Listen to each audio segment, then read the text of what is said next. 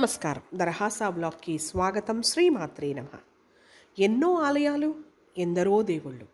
ఒక్కో ఆలయానిది ఒక్కొక్క ప్రత్యేకత. ఒక్కో దేవుడిది ఒక్కొక్క విశిష్టత. ఇప్పుడు చెప్పబోయే ఆలయానికి కూడా ఒక ప్రత్యేకత ఉంది. అదేంటంటే ఏడాదిలో ఒకే ఒక్క రోజు ఈ ఆలయం అనేది తెరిచి ఉంటుంది. ఇది సర్పదోషాలను తొలగించే ఆలయం. ఏడాదిలో ఒక్కరోజు మాత్రమే తెలిసి ఉంటుంది.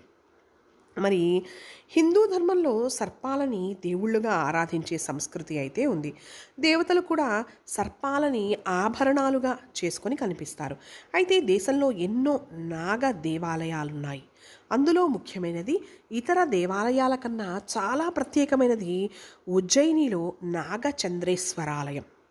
ఉజ్జయినిలోని మహాకాల్ మందిరంలోని మూడో అంతస్తులో నాగచంద్రేశ్వర ఆలయం కొలువై ఉంటుంది.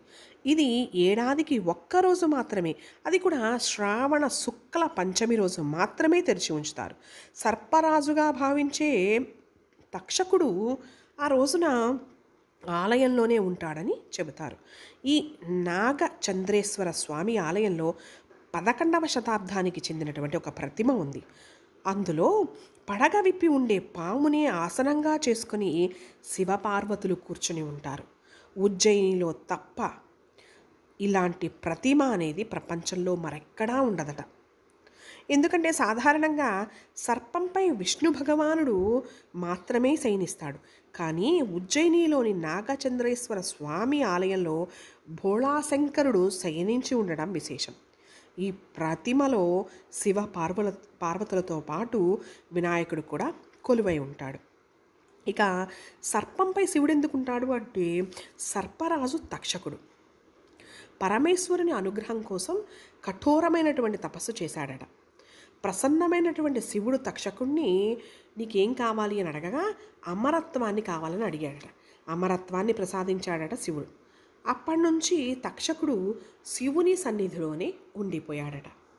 ఇక ఈ నాగచంద్రేశ్వర స్వామి ఆలయానికి శతాబ్దాల చరిత్ర ఉంది. వెయ్యి యాభైలో భోజరాజు ఈ మందిరాన్ని నిర్మించాడు. ఆయన తర్వాత సింధియా వంశానికి చెందిన రాణోజీ మహారాజ్ పదిహేడు వందల ముప్పై రెండులో ఆలయాన్ని పునర్స్థాపించాడు. ఈ ఆలయాన్ని ఒక్కసారి గనక దర్శించుకుంటే సమస్త సర్పదోషాలు తొలగిపోతాయట.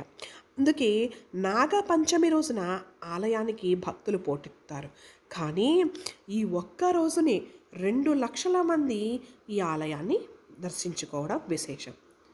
ఇదేనండి సంవత్సరంలో ఒక్కసారి మాత్రమే ఈ ఆలయాన్ని తెరుస్తారు. ఆ ఆలయం ఏమిటి? ఆ ఆలయంలో ఉన్నటువంటి వింతలు విశేషాలు ఏంటి అనే విషయం. మీకు కనుక నేను చెప్పిన విషయాలు నచ్చినట్టయితే please subscribe my channel. Like చేయండి షేర్ చేయండి సబ్స్క్రైబ్ చేయండి. మీ విలువైన కమెంట్స్ని కమెంట్స్ రూపంలో తప్పకుండా తెలియచేయండి. అలాగే బెల్ ఐకాన్ని ప్రెస్ చేయడం మాత్రం మర్చిపోకండి. ఎందుకంటే కొత్తగా మేము ఏ వీడియోస్ అప్లోడ్ చేసినా వాటి నోటిఫికేషన్ మీకు రావాలి కాబట్టి please press the bell icon. Please subscribe my channel. నమస్కారం